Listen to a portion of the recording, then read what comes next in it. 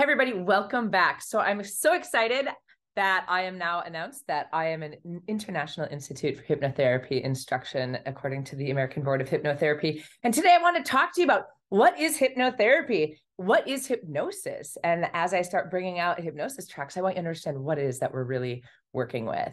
So, first, the show reel.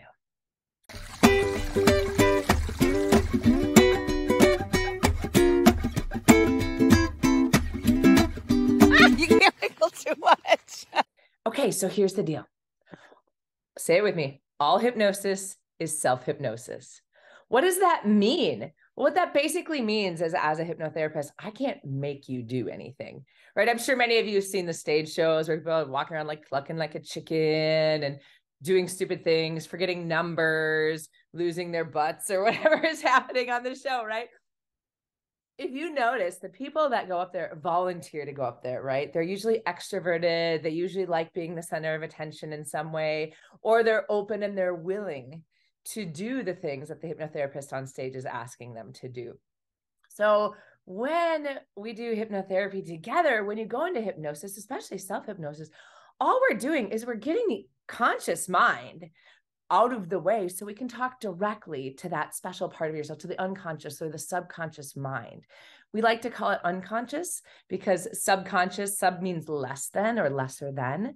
Some people say, oh, you shouldn't say unconscious because that's what people are when they're in a coma. But really, what we're talking about is the quote unquote part of your brain that is running the whole show, that helps you choose whether you're going to do something or not do something and yes, you can consciously decide, like, no, I'm going to work out every day and or three days a week, and I'm going to work hard and I'm going to stop eating sugar and I'm going to do all these things. If your unconscious mind isn't on board, it takes so much effort, so much energy, and so much time to do. Whereas if we can get your unconscious mind on board and understanding that it's safe and easy and good for your body, everything becomes easier. So when you go into hypnosis, even in my tracks that I'm doing for you, don't expect to feel hypnotized. In fact, we're in a trance state 90% of the time, like when we're driving or we're staring at television. So it's actually just a mellow, relaxed state. And so a light trance usually feels no different than that, right? Because it's a normal, natural state. So it'll feel familiar to you. And there are different stages of trance, of course. You can go into a deep, deep trance where you're feeling like as if you're sleeping, right? But not all trance is about being zonked out. It's a really normal, natural state, right? So, hypnosis is a natural state where you experience increasing levels of relaxation, which is why it's good for helping with feelings of anxiousness or overwhelm or not good enough or unloved or I can't sleep or my mind won't stop working. And you are in control. So when I'm doing inductions, whether live, in other words, bringing you into a trance, whether I'm live or whether I'm on video, you are in charge. So if I tell you to stand up, you're going to stand up because you think that's okay. If I ask you to go stand on your head in the corner, you're probably not going to do that unless you like doing that. And then you're going to go do it. And if I tell you to rob a bank, well, unless you would do that, you're not going to go do it. Right.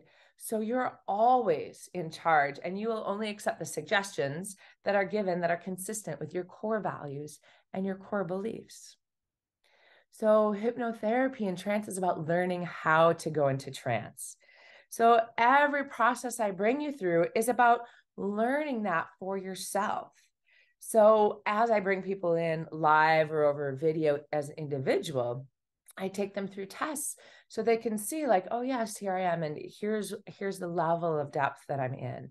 Here's what it feels like to be in this level of trance. So they can replicate it for themselves right? So they can go to self hypnosis classes that i'm offering and actually learn how to do this themselves so they can give themselves their positive affirmations so they can give themselves their um, desires of what they want to do in their life and they can start creating that rapport with their unconscious mind so things can become easier, more simple. Trance is 10,000 times more powerful than just talking to yourself with your conscious mind. Right? Because if you're always consciously trying to force yourself to do something, as soon as you stop paying attention, you don't do it. Right? As soon as you're not putting in the effort, the energy, the time.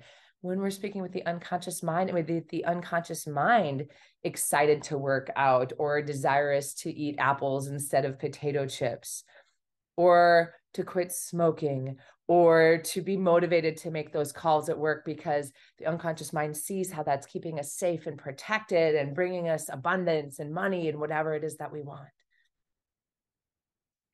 So I, I'm going to keep start. I'm going to, I'm going to keep, I'm going to start dropping hypnosis tracks for you for a variety of things, just little short ones so you can get a little taste. And if you want more, I really invite you to check out my self hypnosis and higher hypnosis, higher self hypnosis classes coming up. Or if you're ready to get certified so you can work with it with your family, your friends, your patients, your clients, I can do that for you as well. So namaste. Have a great day.